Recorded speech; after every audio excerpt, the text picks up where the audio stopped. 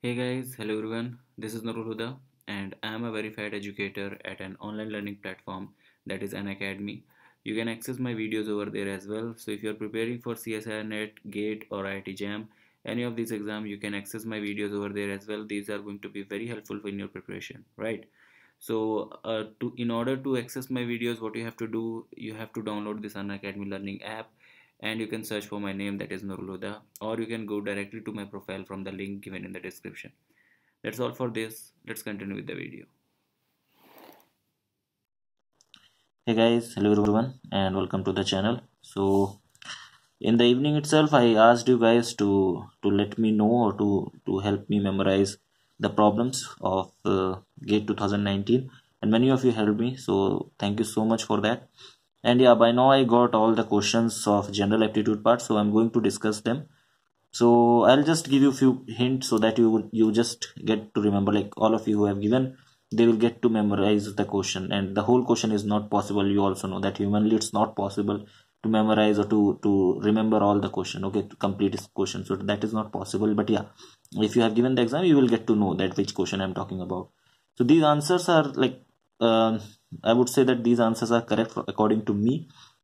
There could be some differences in also because I'm also human and I can also make mistake. But but yeah, uh, from my side, these are going these are like absolutely correct answers. Okay, so yeah, so that's what I'm going to share with you. So there were a few questions like uh, oh, one more thing that I don't know that which of these questions were of one marks and which of these were two marks. Okay, so that I cannot uh, identify, but a few of them I remember, but others I don't know so that i cannot do. So i have just jumbled them all. So 10 questions we are having right? So the english question where uh, like uh, you have to like the fill in the blanks question it was. So the answer uh, would be had and would okay? So the question was there that is uh, had i something the statement was. And in the end it was like dash i and question mark. So it would be like would i okay so that is the uh, that is that should be the answer for this. Then there was a question on the word which was written over there. So that is that should be eminent scientist. Okay e m i n e n t. And this will be the answer for that. So eminent scientist was the answer for that. Now there was a question on that woman issue where uh, the politician was skirting the issue. Skirting means avoiding the issue. Okay. So this this should be the correct answer over there. So these were from the english part. Now there was a question where two integers were given and the sum of them was given like i think uh, 26 and product of them was given 165 something like that. So they were asking about the difference of those integers. So the difference will be 4, 4 okay? So 4 was the answer for that. Now there was a question in the prisoner's statement where they were asking like they were they have given you like a prisoner will be hanged if he says true and he will be shot if he if he tells lie so what does he said to the judge so that the judge let him free? And this question i liked a lot okay? So this was very nice question. So the answer for that should be like i will be shot okay? If this statement is true then see uh, if you can understand of your own say if he is saying truth that it, uh, he will be shot then he should be hanged. But that is not going to happen okay? That is not the true okay? Then his word will be false. So the the punishment and whatever he is saying that are contradicting to each other. Okay so that's why uh, the judge does not have any choice. He has to let, let him free. So yeah it was a good question.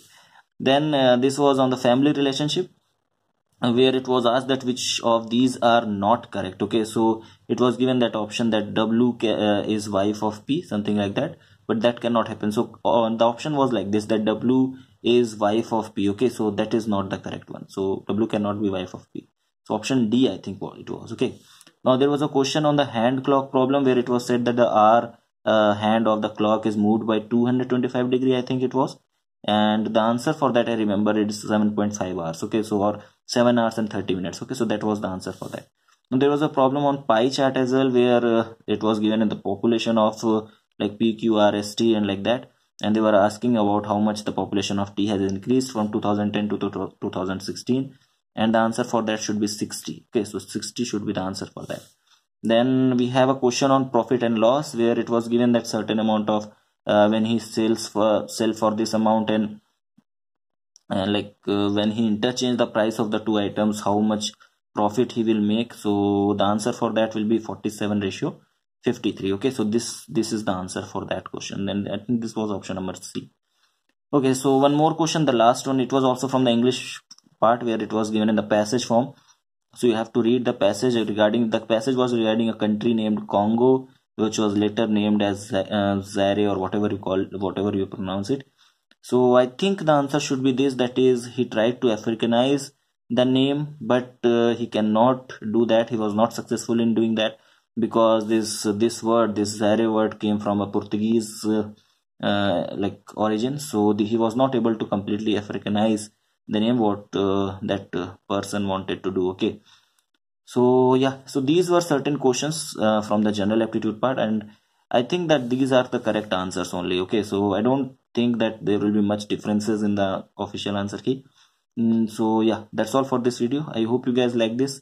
And if you like this video give it a like subscribe to the channel if you are new to it. And i'll soon make video on the on the chemistry portion as soon as i will get the uh, as soon as gate will upload the question paper. Okay so thank you so much for watching and have a great day. Bye bye